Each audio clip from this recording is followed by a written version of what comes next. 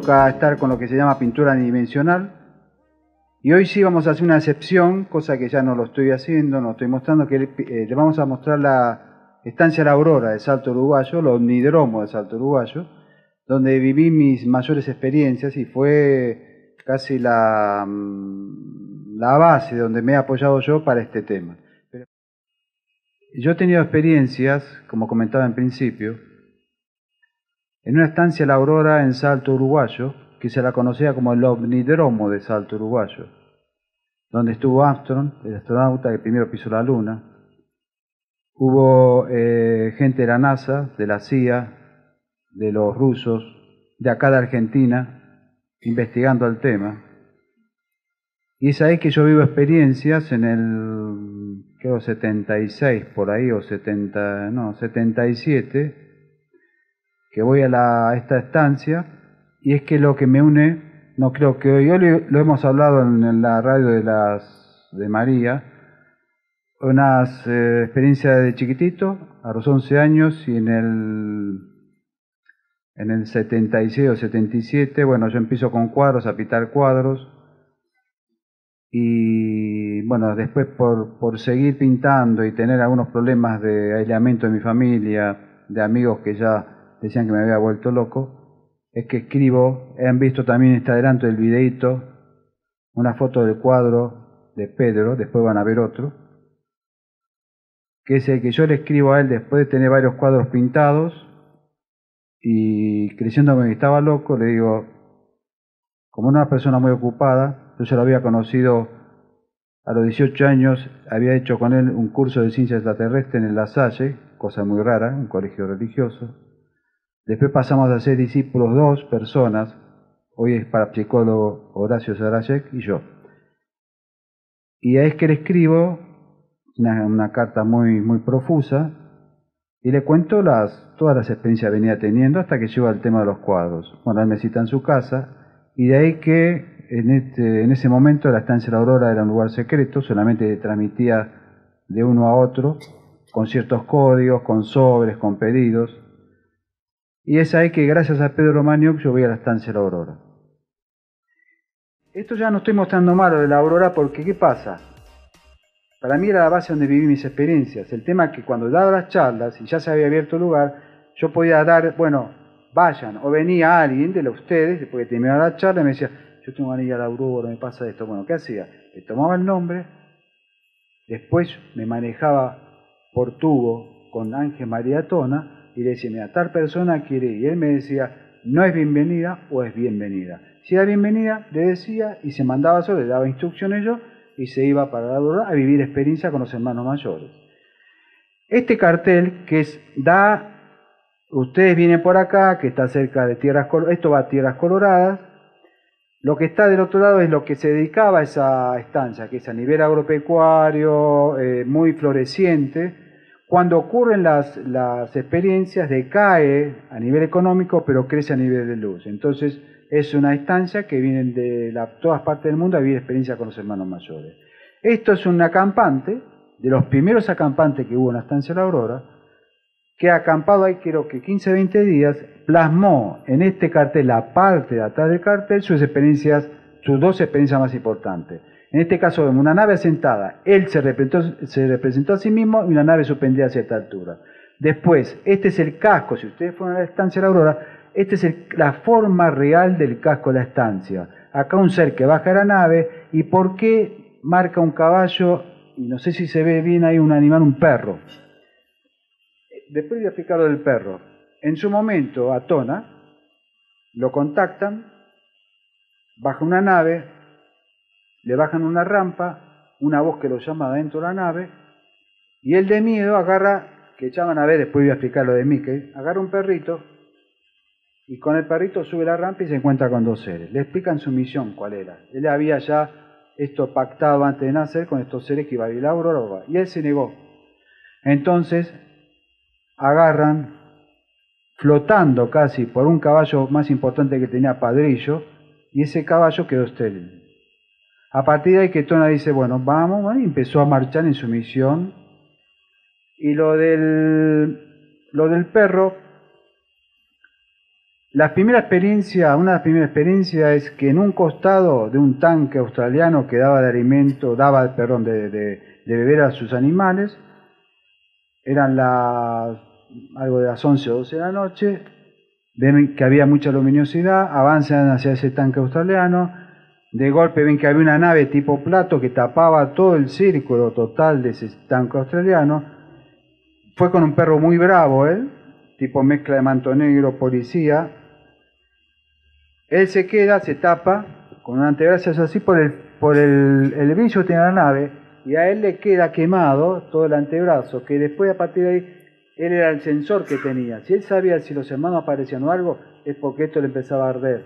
El antebrazo le quedó como un sensor. Ahora el perro siguió y se abalanzó sobre la nave y a 100 metros antes de llegar a la nave choca contra una pared invisible y queda aullando parado en dos patas. Bueno, pasa esto, al tercer día vuelve al mismo lugar el perro y ahí muere seco y sin sangre. Ya van a ver en otra explicación qué quiere decir seco y sin sangre.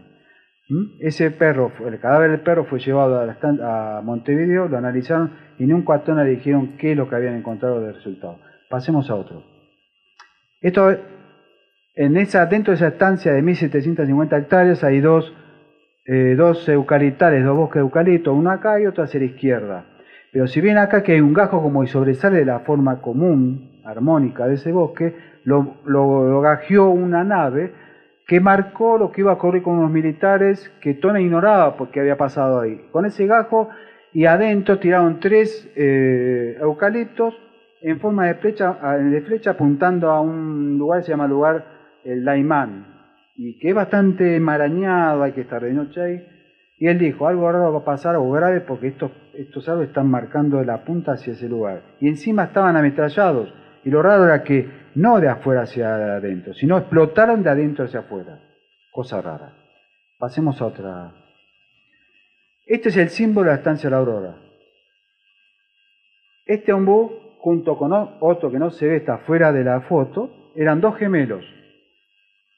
A las 12 de la noche del 77 más o menos, los hijos gritan, fuego en el gallinero, o sea, el gallinero está atrás de este ombú. Cuando se acercan encuentran que el gallinero estaba intacto, pero encuentran que este ombú tenía un hueco y estaba llameando. Esto creció después. Ahora lo raro es que esto que ven acá son brotes nuevos.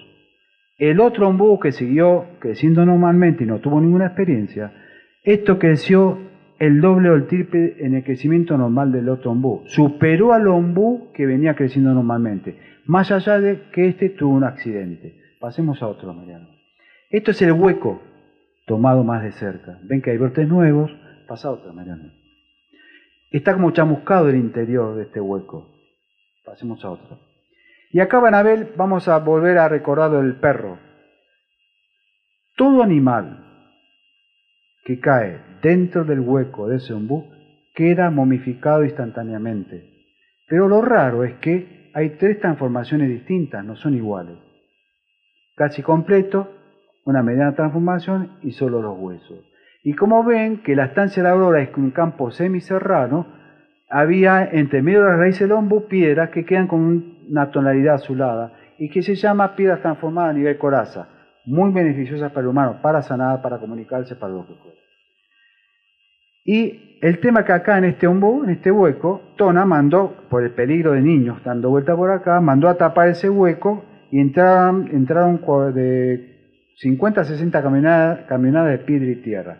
Y cada mes, mes y medio tenía que meter cuatro o cinco o seis camionadas porque es como que lo que hay ahí abajo, que les voy a explicar, se comía la tierra y la piedra y iba bajando el nivel. Ahora, vinieron los técnicos de la NASA mandaron una sonda hacia el centro de Seongbu, de a ver qué es lo que había ahí. Lo más raro de todo es que encuentran que hay una, una dirección como si fuera tipo serpenteando, y abajo encuentra que hay una esfera bien pulida que ululaba hacia esto, energía. Y ellos lo llamaron el sonar cósmico, porque decían que esa esfera colocada a 25 metros de profundidad solamente servía para algo interplanetario, no para algo terrestre. Pero lo raro que ellos explicaron es que esa esfera, si siguió una sinusoidal, un camino sinusoidal, dijeron que hubo una mente que colocó esa esfera ahí abajo a 25 metros de profundidad, porque en realidad no siguió la caída de la ley de gravedad. Y ahí justamente mucha gente en este ombú dejaba mensajes a sus hermanos mayores o si tenían problemas con un familiar, dejaban a la noche las cartas o fotos y después desaparecían las cartas o fotos o bueno, en mi caso le cuento rápidamente, mi suegro estaba depresivo mal, vivía todo el día así apoyado en la, mesa. Eh, le digo, bueno, denme una foto de 4x4 de él.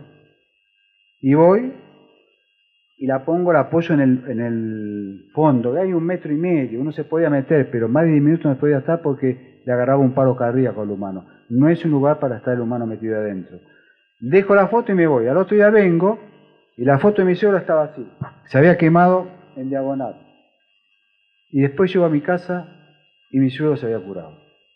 Se ve que había un problema en la cabeza. Bueno, muchos casos hubo así de estos. Pasemos a otra. Esto es un asentamiento característico de nave, trípode característico de nave, ¿qué? Son las bochas, que la otra vez dijimos, son, se calculó, los japoneses calcularon que hubo el objeto que acá este, se apoyó, tenía un peso de 600 kilos más o menos. Ahora lo más raro de todo esto es que, no sé si ven, está fuera de foco, hay unas puntitas de colores.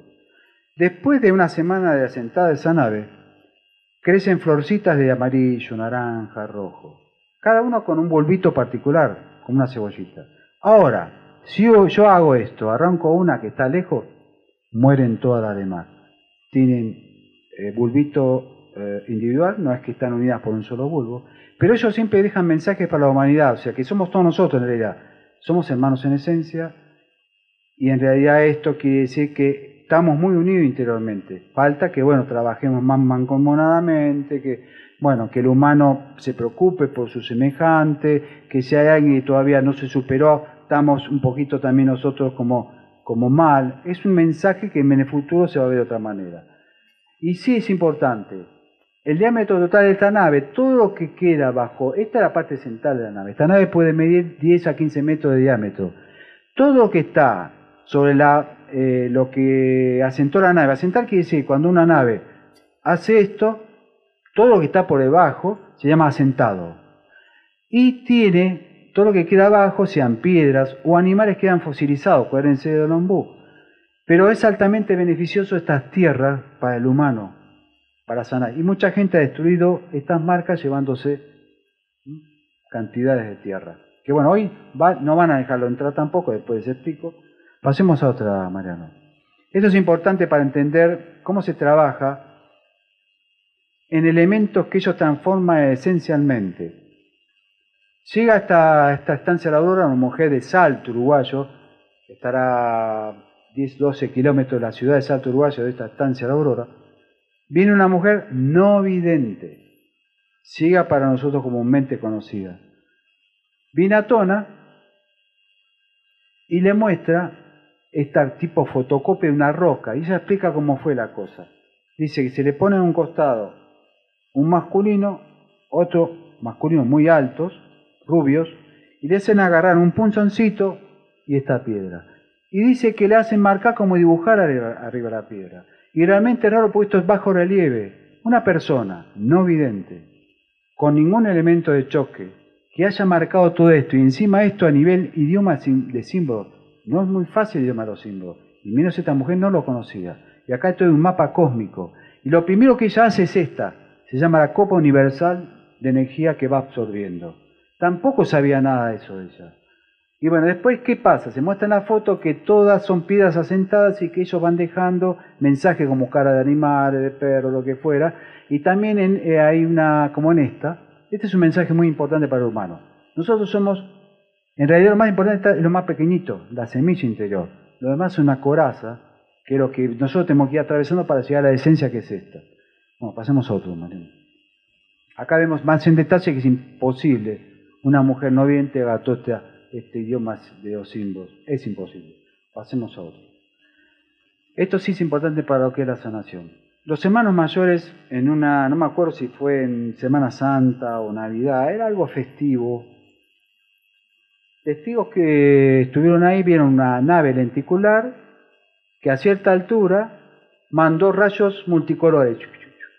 Cuando fueron a ver se encontraron con esta cruz de una altura normal de una persona de unos 80, ya viendo los brazos. Yo aquí vi personalmente una mujer, profesora en Salto Uruguayo, que tenía cáncer de astiroides y encima tenía tumores. Dice que se le aparecieron hermanos que le indicaron que ella se acostara acá, imitara la forma de la cruz, ella se desnudaba, iba con la hermana, la hermana la tapaba con una frazada y dice que tenía que ir todo un mes entero. ¿Cuánto terminó de hacer esto? No solo que no tenía protuberancia, sino que le quedó como una línea rosada. Fue a hacerse análisis a Montevideo, dice que tenía metástasis. Ya no tenía el cáncer, sino ya tampoco había este, metástasis. Y así muchos casos de personas se iban enterando, imitaban la forma, bueno, y también para comunicarse con ellos. Pasemos a otro. Esto es importante para mostrarnos el egoísmo del humano. Esto también fue en un momento religioso algo por el estilo que marcan este ser amorfo, la cabeza con dos antenas, las piernas, y acá no lo van a ver, pero hay tres dedos como chorizo. Hay muchos seres que se han encontrado que tienen tres dedos como chorizo.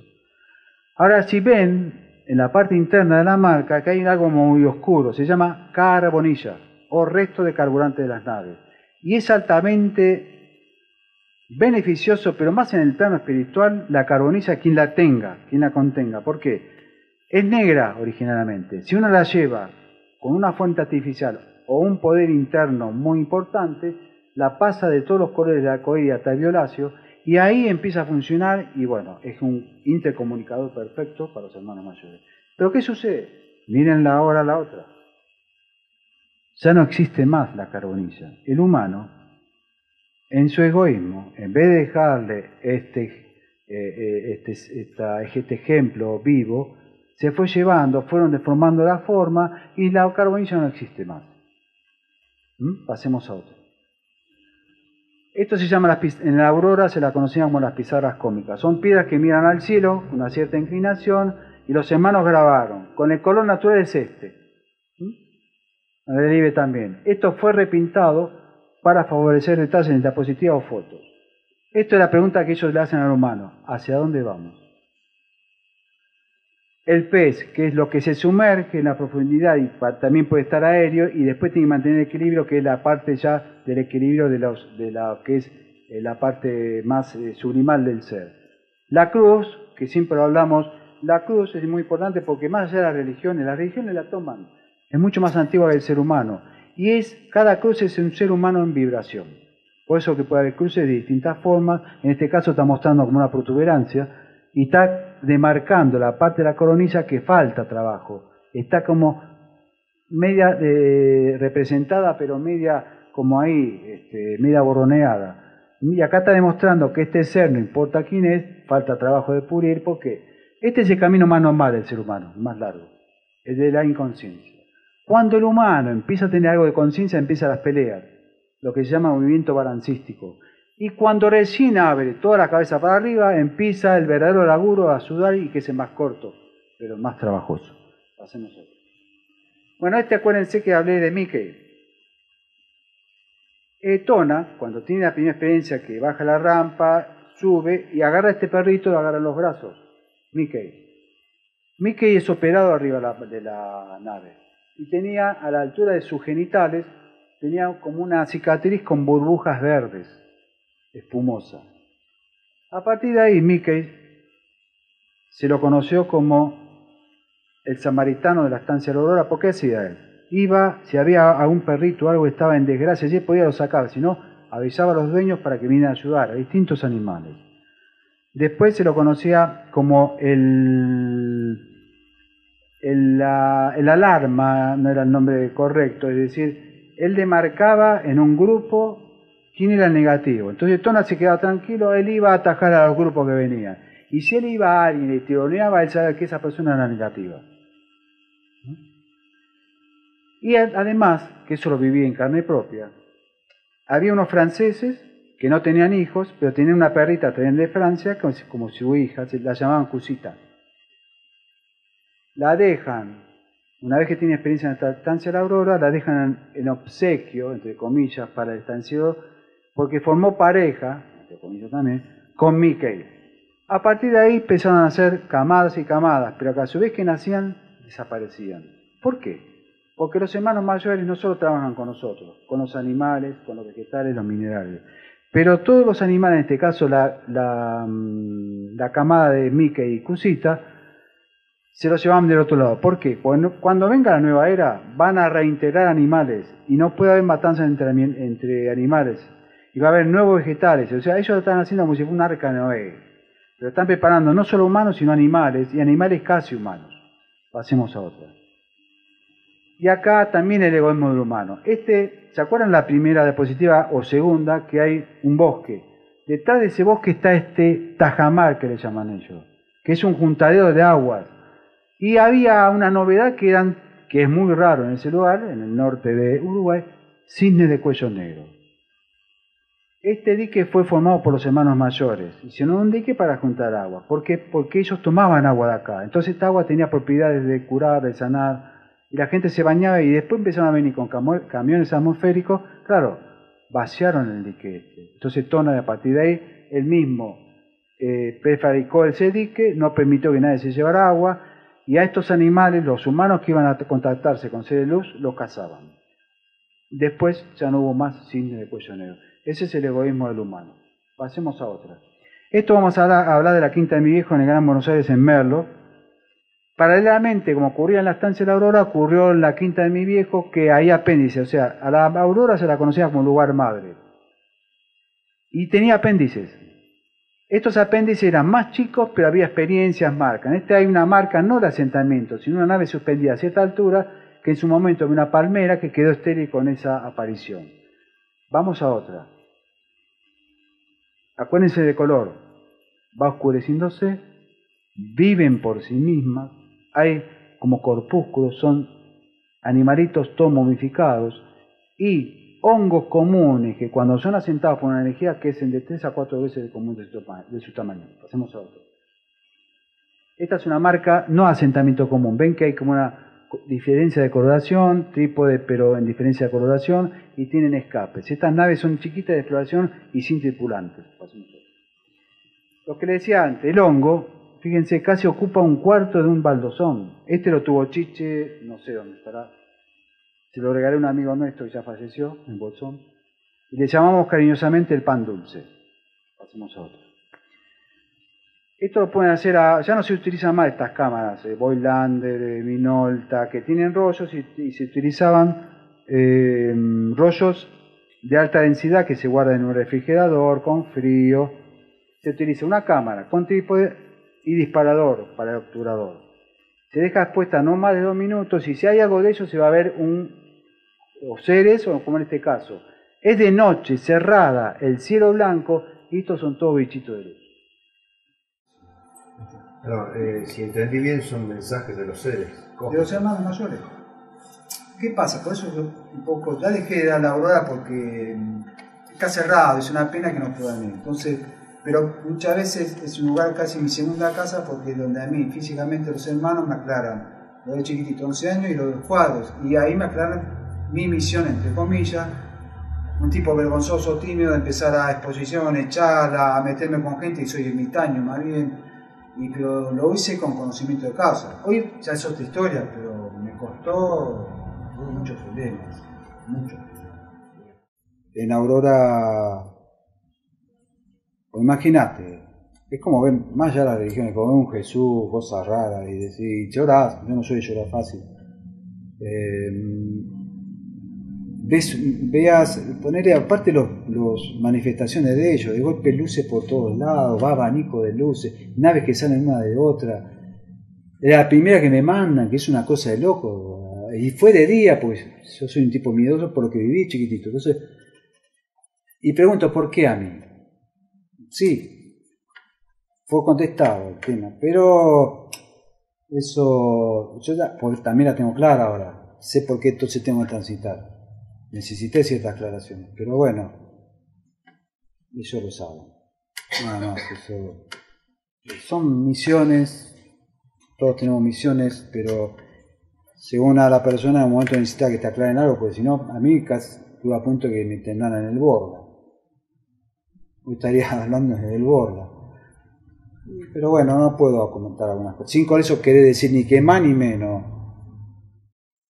Hay seres, hay seres extraterrestres de todo tipo. De nivel alto, bajo, mediano. Pero en ese caso hubo, en la aurora pasaba una cosa. Como pasa en todos los lugares, capilla, no es que vos tenés todo luz. Tenés lo que equilibra la luz. Siempre está trabajando la oscuridad, aunque parezca, está todo dentro de un orden. Hay seres que trabajan. Entonces, ese tipo de tarea la tienen otros seres que en la aurora había negativos, divididos por un alambrado, nada más. Y ese eh, son trabajos que utilizan otro tipo de seres, que trabajan también para el plan.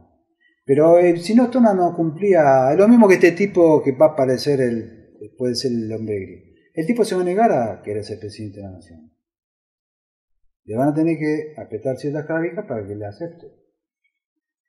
Y y algunas cosas no las entendés, pero eh, hay manejos. Nunca matan a... Sí, hubo accidentes, hubo muertes de humanos.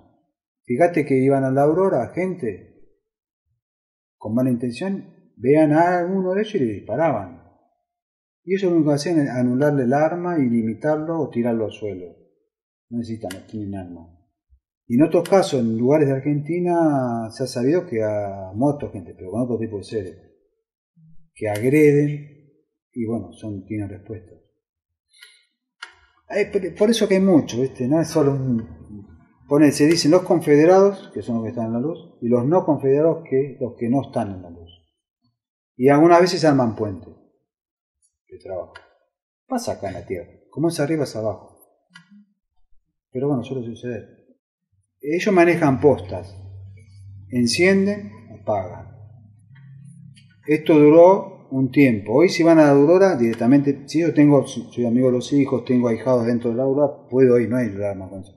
Ahora otras personas no dejan entrar, se hizo una estatua del Padre Pío, un costado, entonces la gente va a hacer procesiones al Padre Pío.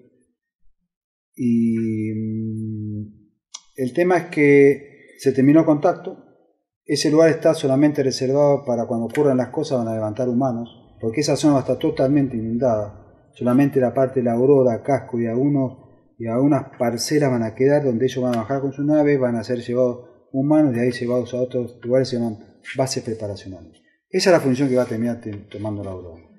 ¿Y qué pasa? Hoy si van, esto es un documento. No van a encontrar la cruz, deformaron todo, fabricaron huellas falsas, eh, lo único que queda como documento, gracias a Dios, porque Tona no permitió que la NASA lo llevara, es la esfera que está en el bambú. Los yanquis se lo quisieron llevar para Estados Unidos. Hoy lo único que permanece, pero está apagado. Son en tiempo. Ellos manejan posta. Enciende, apagan. Después enciende, apagan. Se sabe que puede haber en el sur ahora una posta que ellos enciendan. Todavía no se encendió. Es muy así. Eh, yo te aclaro algo. Eh, la zona que tuviste vos es toda esa zona de influencia del Padre Pío. Todo está manifestado a través de las luces. Ya los hermanos no están trabajando en ese sentido. Sí, el Padre Pío. Donde vos bajaste es un lugar especial. Hay algo muy especial que se mantiene en secreto. Por eso se montó el Padre Pío ahí arriba. Y... tenía necesidad de bajar. Bueno, pero vos no sabés lo que hay. Está en secreto. No, ni idea. No, no, no ni idea. O sea, me llevaba la curiosidad. Eh, por eso te digo, o sea, eh, por eso es que hay este, procesiones eh, con el tema del Padre Pío, por las experiencias que hay. Eh, hasta, bueno, en un momento dado llega parte de, así como de iglesias a, a dar misas. Y... Entonces es un lugar de mucho, de mucho auge, pero está todo relacionado con el Padre Pío.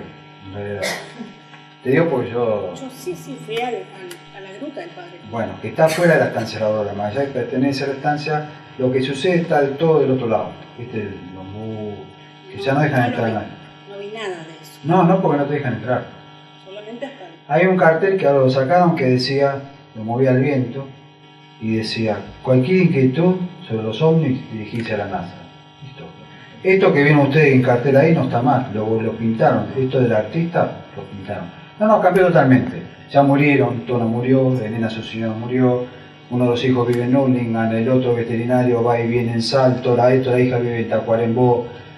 Hay gente que está con sesión para ordenar la vaca, no, cambió todo.